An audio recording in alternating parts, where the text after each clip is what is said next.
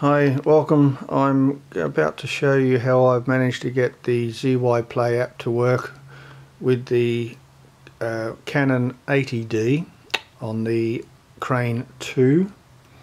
I've uh, got the camera set up on a tripod on its tripod as you can see there and I have it in video mode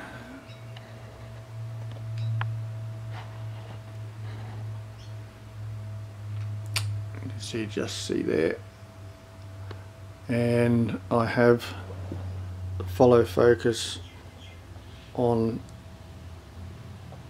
F. And all set up there. I've launched the ZY Play app. Now all I've done with this I'll try and stay in focus as best I can but it's very hard. I'm not using a tripod. And I probably should but getting the uh, the phone and the camera together is a bit hard. But I've managed to go into moving time lapse and you get the menu up there. Then the next thing I did was I go to the, the crane. I then move the ca camera to the start position to where I want it to film start from. Let's just say there and that sets a waypoints on the ZY Play app.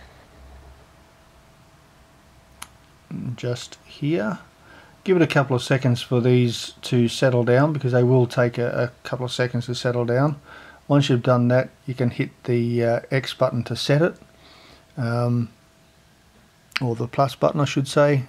And then you can set the second waypoint where then you just move the camera around to where you want the movie to finish and let's just say there. And that gives it a couple of seconds for the ZY app to settle down again for its waypoints. And then push the plus sign. That sets the waypoints now, you hit next, you get the opportunity or the menu to select the uh, time interval and all that sort of good good stuff. So I'm going to go for this one, let's just say one second, 30 second video and that should be fine. And once you push start what should happen is the camera should swing around to its start position. Let's have a look. Let's push start on here.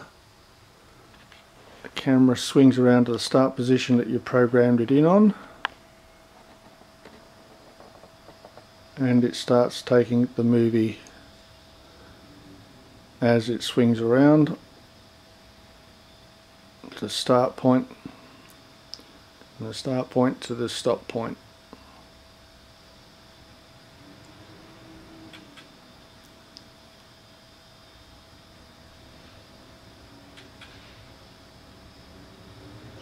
and as it goes around it tries and does its focus.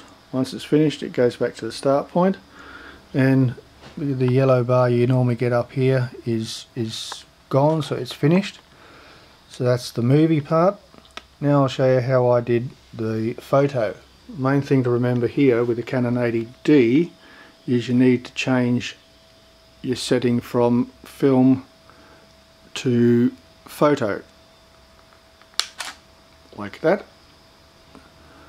And we get the live view back up. You can see the live view. Yep. Go to your app again. Select in time lapse. Move the camera to where you want the shots to be taken. Let's go up a bit more and go to the left. Go there. That's your start point.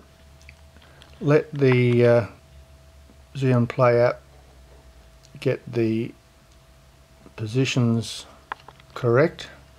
Then hit the add button move the camera to where you want it to stop Oops, wrong way. Go the other way. Let's go round about to there. And then we come back to the app, let it settle down a bit, get its waypoint set in.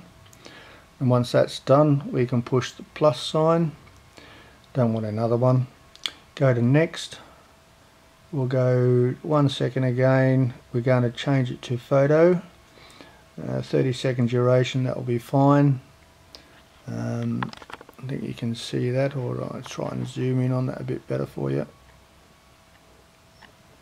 And you can see the differences that you change here from photo to video. So once you've done that, once you push start, it should do the same thing as in video. Go back to the start position you selected, which it does.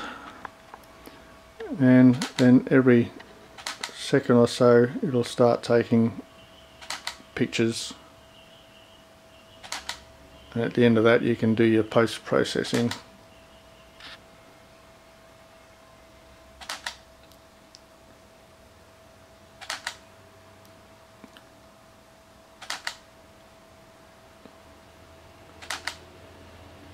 once it gets to the end it'll go back to the center position. And lets you know that it's it's finished. And the yellow bar again across here is, is gone so you can know it's finished. There you go so I hope that was a help to you. And as I said this is the uh, Zhiyun Crane 2 with firmware version 1.714 on a Canon 80D using an iPhone 7 Plus latest iOS any questions, feel free to drop me a line in any way, form, shape or matter and I'll see if I can answer them for you. I hope this helps someone. Anyway, happy photographing. See yous.